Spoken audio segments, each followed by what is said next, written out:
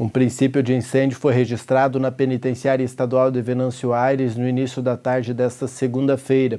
De acordo com o site do jornal Folha do Mate, um apenado que aguardava transferência de galeria teria jogado um cigarro contra uma pilha de travesseiros que ficam depositados em uma sala. O fogo fez disparar o alarme e a fumaça tomou conta da instituição. Os agentes penitenciários conseguiram controlar as chamas, mas o Corpo de Bombeiros e o SAMU chegaram a comparecer ao local. Não houve feridos e a situação logo foi normalizada. Ontem pela manhã, um pacote com celulares e fones de ouvido foi arremessado para dentro do presídio. Cinco celulares e dois fones de ouvido foram recolhidos pelos agentes penitenciários nas proximidades das galerias.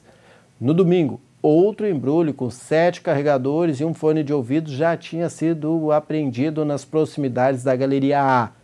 Os materiais são jogados no pátio próximo das galerias, sendo que os apenados tentam pescar os objetos ilícitos.